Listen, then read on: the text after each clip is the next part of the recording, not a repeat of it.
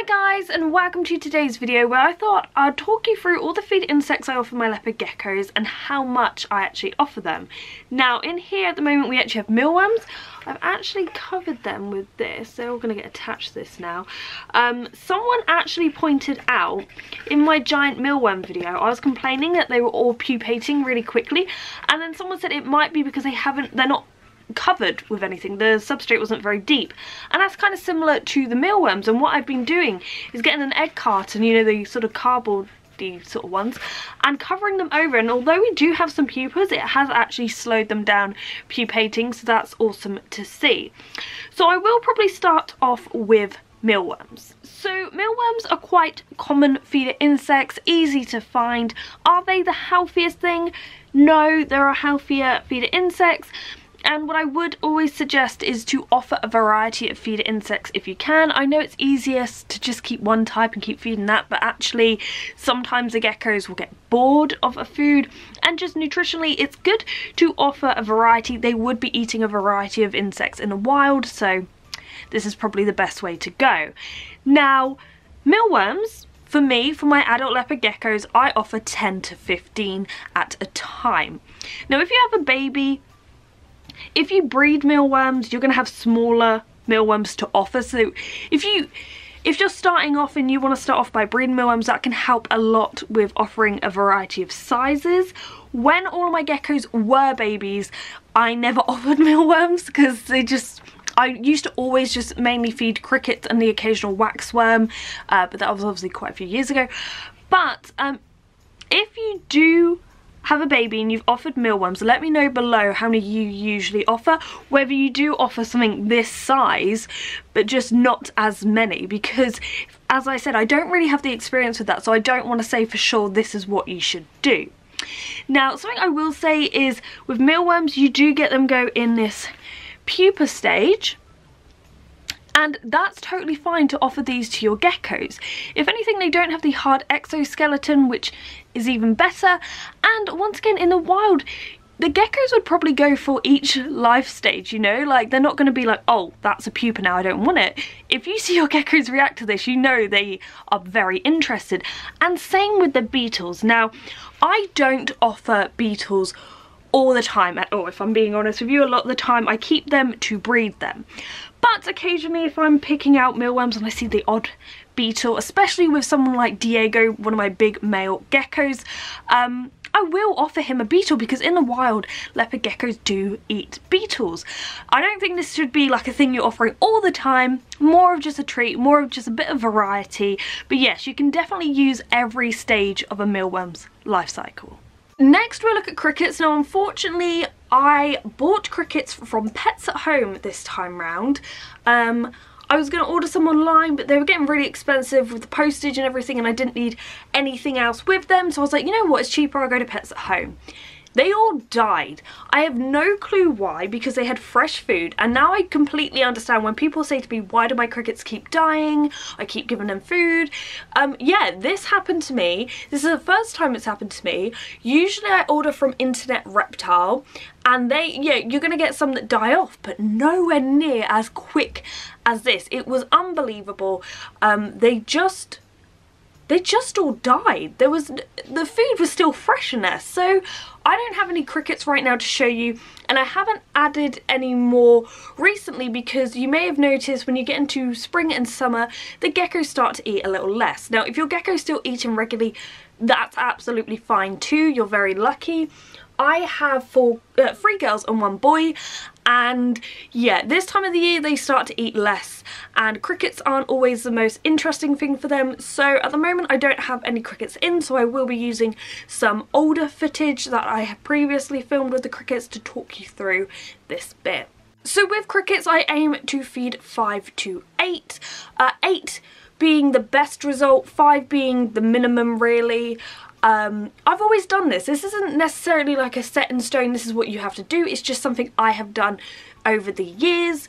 Um, some people will say offer as much food as your gecko will eat in 15 minutes.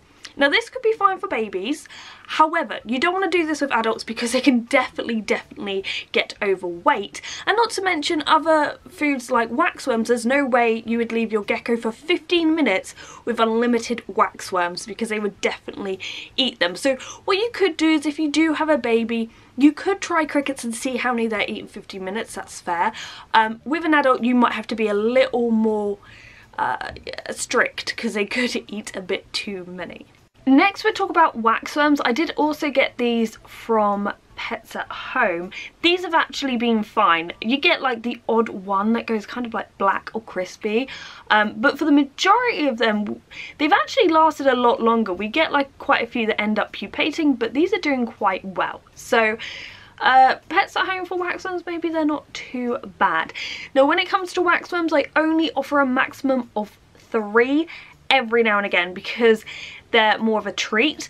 Once again, I do offer the pupa stage as well sometimes. If you've seen my video on a tip to get your gecko to eat when they're refusing to eat, there's a very good tip in there to do with pupas. So I'd recommend checking that out if you are struggling. With the moths, one time I went to get a waxworm out and one a moth was in here, the wax moth, and it flew out into Diego's tank and he leaped and caught it.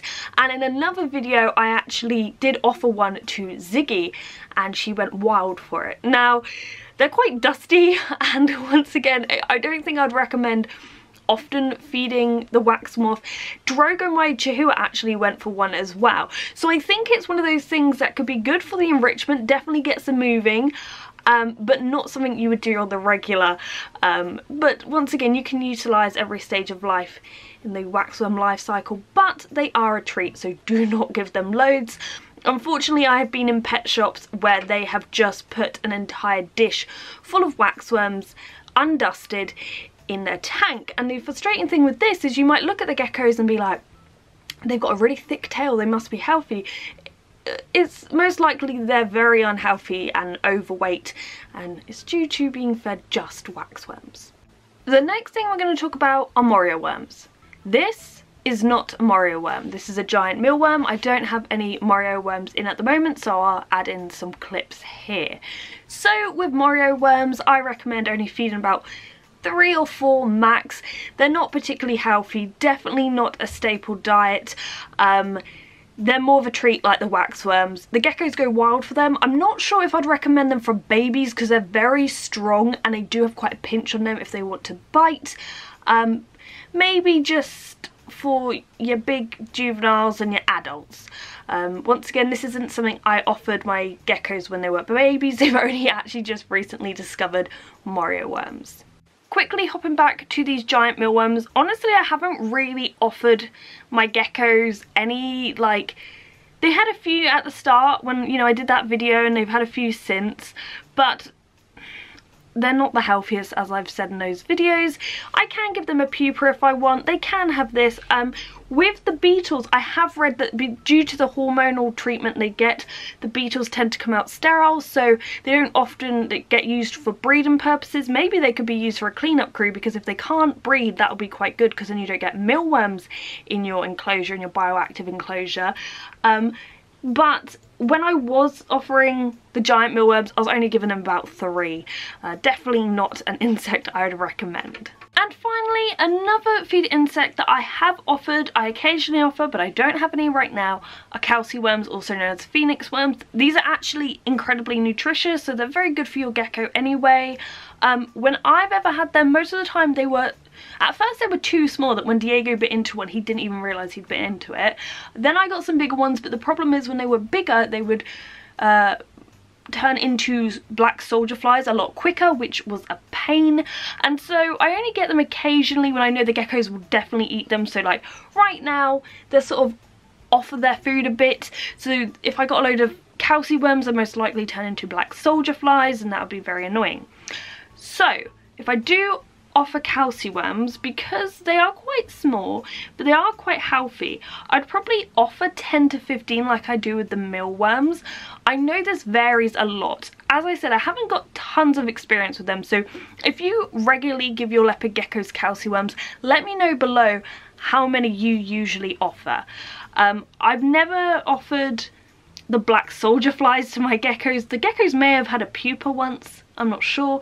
But calcium worms are something I would like to have more of. It's just I hate that they turn into black soldier flies because unlike beetles, you know, they flap around, they can get out and that would be a pain. So I hope this has helped. I know a lot of people have been asking me to do this because the last time I did a video where I talk about how many feeder insects to offer, it was quite a long time ago and I don't think I was really using mealworms as much as I am now. Like, I can't remember. It was such a long time ago. That video is quite old. So this is definitely a new updated one. As for how often you should feed your geckos, I do have a feeding and supplementing schedule. One thing I will say with that is, once again, it's just a guide. And in the supplementing schedule, I do say about using vitamins and minerals twice and using them at the weekend. To be honest, I would split them up a bit. I don't know why I said to use them both at the weekend. That is only a guide and since making that video, I do obviously use uh, UV now and different supplements, but it, it's a guide. It tells you how often you should feed your geckos depending on their age and when to supplement-ish. Um, but yeah, I hope you've enjoyed this video. Hopefully it's been helpful. Thank you for watching guys and goodbye.